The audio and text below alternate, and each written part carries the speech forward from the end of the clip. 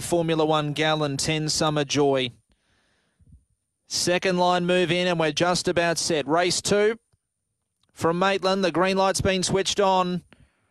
Ready to jump.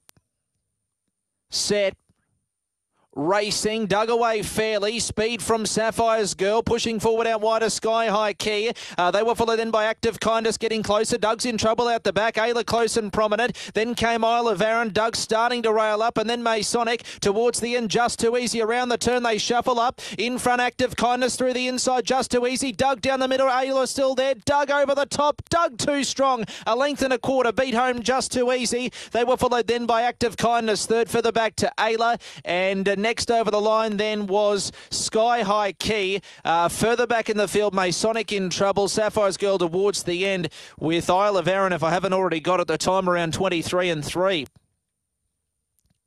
So Doug overcomes difficulties to win. One Doug for Luke Kilby defeats two just too easy for Chris Plant. For third, active kindness for Brian Smoothie. Five, fourth, Ayla. Interim placings one, two, four, and five. One, two, four, and five, the numbers on race number two.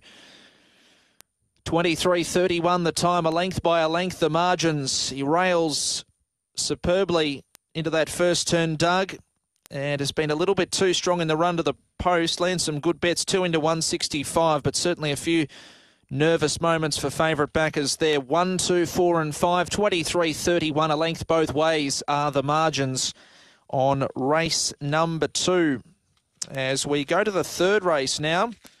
Next event on the program here is the maiden over the 400 metres. We take out number five, Patea Flash. Nine Summer Joy gains a run. And second reserve 10 Formula One Gal not required. Just under 20 minutes away. The third at 6.55.